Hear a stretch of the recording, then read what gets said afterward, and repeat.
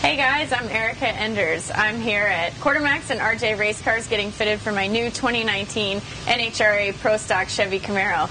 We're super stoked to debut a new car next year, but uh, we just left St. Louis where my teammate Jeg Coughlin and I qualified number one and two, and we're in the midst of the countdown right now. So really excited to uh, to finish the year as strong as we can. But uh, we're building three new race cars for Elite Motorsports: one for myself, one for Jeg Coughlin, and a new Ford Mustang for our team owner Richard Freeman. So uh, Pro Stock is as competitive as it's ever been, at, le- at, least since I've been around, and we're building this new car hopefully to get a leg up on our competition. So.